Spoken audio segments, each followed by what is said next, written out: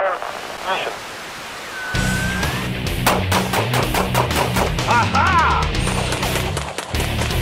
ha! Hi, this is Joel Persinger. I'm the Gun Guy. Thank you very much for supporting Gun Guy TV in all the ways that you do that. I really do appreciate it. A couple of quick things. We are no longer prisoners of YouTube. You can find us on all of these platforms as well, so check us out there. I urge you to subscribe to at least one of them in case something happens to us here on YouTube. Likewise, you can listen to the Gun Guy TV audio podcast completely free on any of your favorite podcast players. You'll find it syndicated everywhere. Now, this video is brought to you by Practical Defense Systems. If you're interested in security guard training in the state of California, Practical Defense Systems has the best security guard training at the lowest possible prices. Check out the link in the description. Okay, now I got through all of that. I went out to Yuma to uh, review a few guns, a couple of which were from Rock Island Armory. Now, in case you don't know, I am a big lover of 1911 handguns. Actually, I'm a big lover of guns in general, but I really like 1911s uh, in particular. In fact, to as evidence of that, this is my 1911.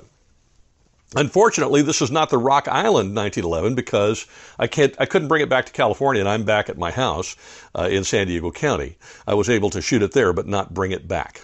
However, I wanted to show you this gun because I wanted to compare the two and show you some benefits that I found with Rock Island's uh, Rock Ultra CCO that I did not have on this Colt Combat Commander that I bought back in 1978. Now, so that you know, I've carried this gun a lot. I bought it in 1978 for, I think, $186.86 on sale, and uh, it's worth a fortune compared to that now. And I've had a lot of work done to it, and I've carried a lot. In fact, I've carried it off and on for, what is it now, 41 years. Uh, I don't carry it anymore because I have other carry guns, but in carrying it, what I've learned is a few things. One, I really like 1911s. Two, I really like the commander size slide, the little bit shorter slide than the full size government model for concealed carry. And three, I, as, as much as I like the full size grip because I'm a fairly big guy, I'm 6'2 and 230 pounds, and I've got big hands.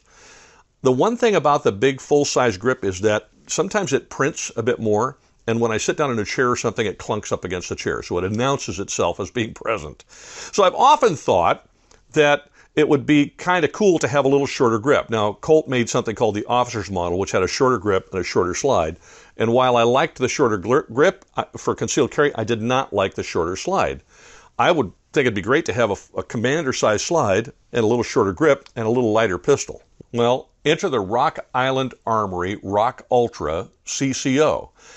This pistol is magnificent. It's a very well thought out design. I really like uh, a lot of things about it. Most notably, what I've just described is, is the thought process of making this gun a little bit more concealed carry friendly. With the aluminum frame, it's lighter, and yet it's a joy to shoot. The weight difference does not seem to affect the ability to shoot it well or the, the fact that it's comfortable to shoot.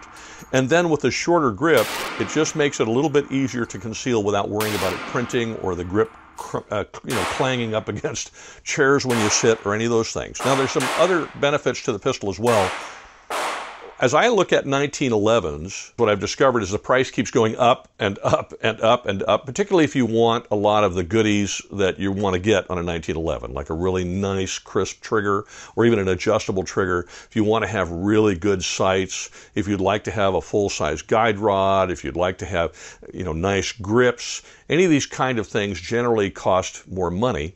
And so when I looked at the, the price that this gun is being sold at, I thought, Uh, wow, this has got to be either a really crummy gun or a really good one at a great price. So I'm just going to tell you right now, I said this to my wife uh, earlier this morning as, as when I was getting ready to do this video, that if, if it weren't for the fact that I live in California, I'm not sure it's on the California roster. I don't think it is.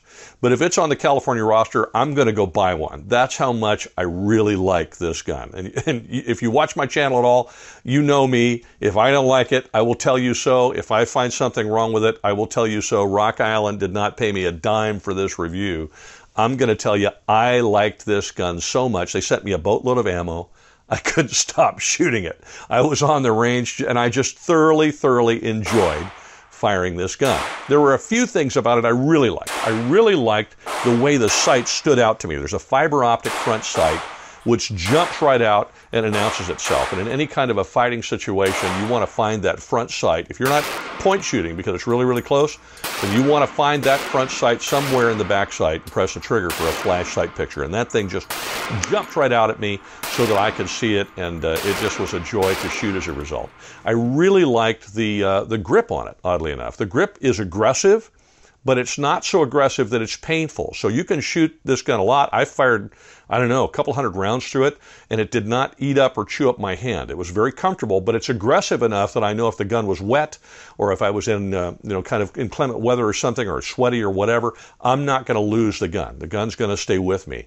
So I really, really liked that as well. And frankly, I found that even with a shorter grip, the gun was still a joy to shoot.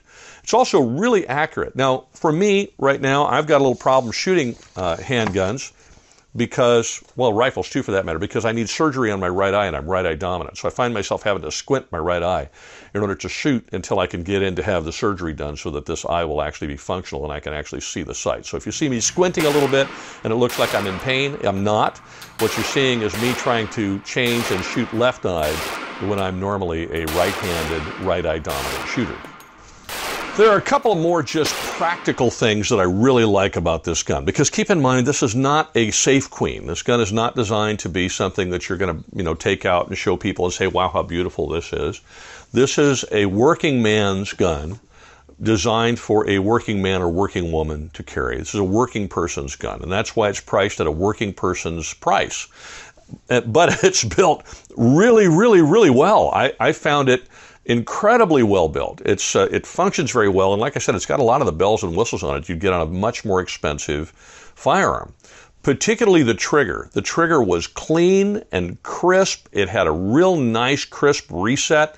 Uh, I would say you know, it's probably set at about four and a half pounds, maybe five pounds. I didn't have a way to measure it at the time, but just from feel, I can tell you it's uh, it's a really great trigger, and it, it comes with a four to six pound trigger in it, so you can you can make it what you want it to make, as far as I can determine.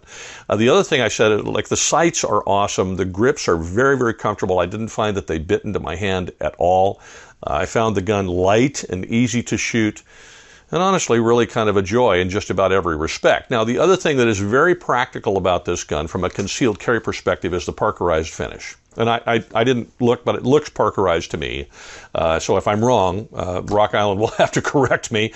But it looks like a Parkerized finish to me. And I find that to be very positive for a few reasons. One, that's a very durable finish because the gun's going to experience holster wear.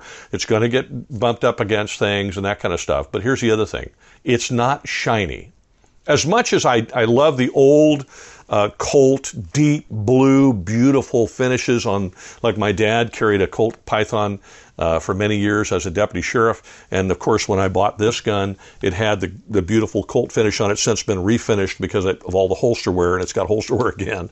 As you can see, there's lots of holster wear on it. Uh, these guns experience holster wear because they're out in a holster all the time. That's going to happen to them. A Parkerized finish is going to hold up very well, but it's also not shiny. I don't like shiny finishes on guns that I carry. Uh, and, you know, for obvious reasons, and if you don't know what those are, then, you know, send me an email or something, I'll explain it to you. Uh, but I really did like the Parkerized finish. It's, it looks like a gun that a guy's going to carry or a gal's going to carry and carry a lot. It's going to be very durable and it's going to function when you need it and function very, very well. So I got to tell you, I, I, put, I think, 200, 250 rounds through it, uh, right hand, left hand, right hand, two hand, left hand, two hand. I, I just had a great time with it on the range.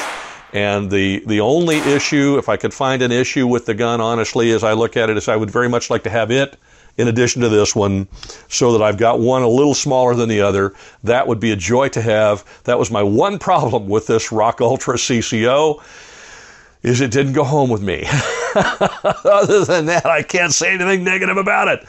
So uh, there you are. There's a review of the Rock, Rock, uh, Rock Ultra CCO, uh, which I'm having trouble saying, obviously uh, from Rock Island Armory. Terrific gun, absolutely fabulous. I really enjoyed it, particularly at the price. Check out the price of these things. You'll be amazed. I've got links in the description to the gun. Now, if you're watching on YouTube, I have to put that link in the first comment and pin it to the top. I cannot put it in the link uh, in the description. They don't like that.